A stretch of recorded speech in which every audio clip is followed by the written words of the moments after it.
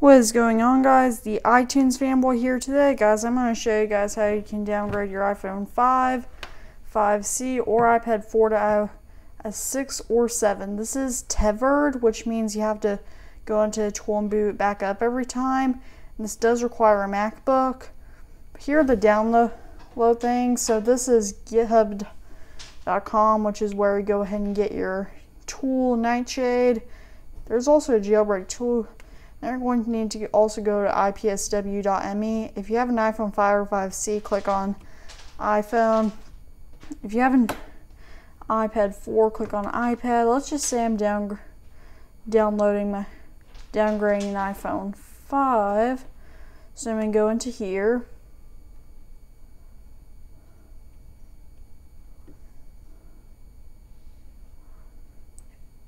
And you're going to need to go all the way down to iOS 7 IPSWs or iOS 6 IPSWs. On 5C, you can only do 7 as it didn't get 6.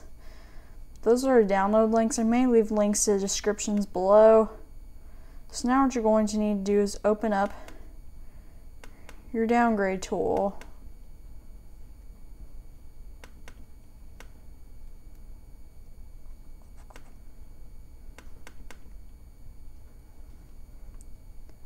Probably need to left click it. So what you're going to need to do is hit re restore IPSW. Now you're going to need to press select IPSW. This will drag you into the little finder area. Drag over your IPSW or just find it. I'm just dragging over my IPSW and you're going to need to hit open and press restore. Waiting for, it'll say waiting for device in DFU mode. So now I'll show, now I'm going to show you guys how to enter DFU mode. So first off, you'll need to power off your device.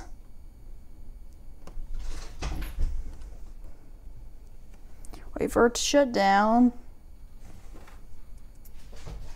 Now, after that, you're going to need to hold down the power button for 3 seconds and without letting go of the power button, hold down the power and home button for 10 seconds and then wait and, and then hold the home button until the tool recognizes it. For me, it takes about, I've done this on iPhone 5Cs and iPhone 5 before. It usually takes me about 11 to 12 seconds, but let's hit it. One, two, three, one, two, three, four, five, six, seven, eight, nine, ten. One, two, three, four, five, six, seven, eight, nine, ten, eleven, twelve, thirteen, fourteen. So it's in it's already doing that. Great.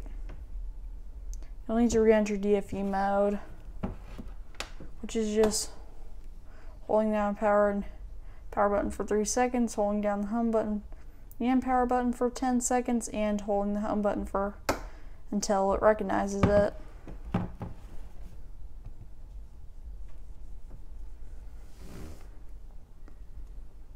This is what a tethered downgrade looks like, BTW. You should still see nothing on screen. Now you will.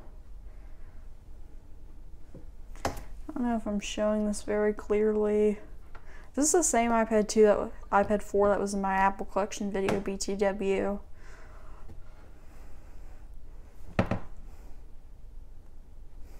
Yay, yay, yay.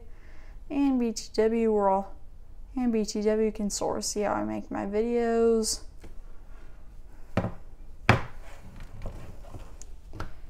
Done. Great. I'm going to leave it connected just in case. Now. Now here is the lovely guest of honor itself, the iPad. Okay.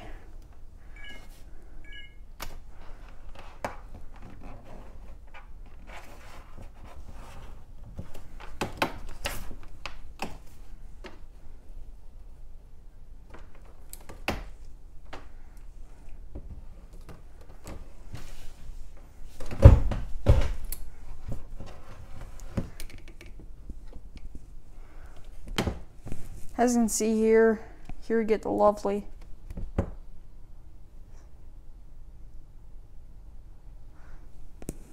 setup screen here, classic iOS 6. Enter my Wi-Fi.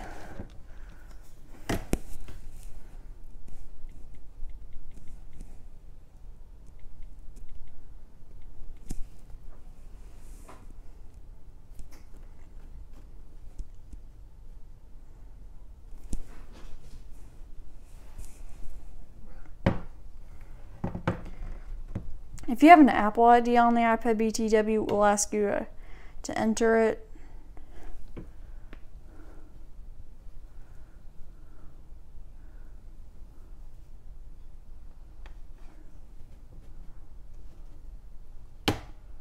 Use Siri. Don't send. Start using. Great. We get the whole classic iOS 6. And as you can tell, you're jumping into settings. Let me just make sure it doesn't show the serial number.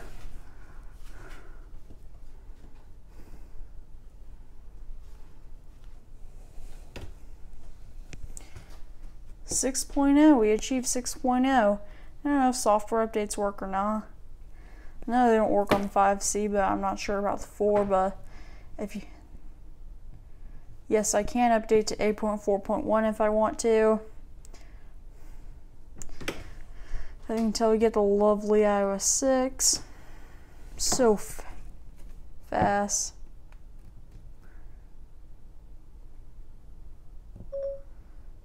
What's the weather today?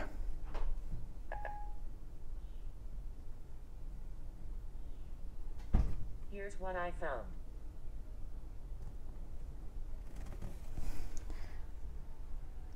No, I don't live in New York City. I'm just stating that, but yeah. So this is the end of the video. Please like and subscribe for more content like this. In total, this took this video is about 21 minutes long, so this process should take you about 15 minutes. I don't know, you'll have to test it for yourselves, but I am not responsible for broken devices, BTW. So do not blame me, although I can't comment anyway but do not blame me. Please like and subscribe to help the channel. I'm at 44 subscribers, so close to 50. And thank you all for supporting and watching this video. Bye bye.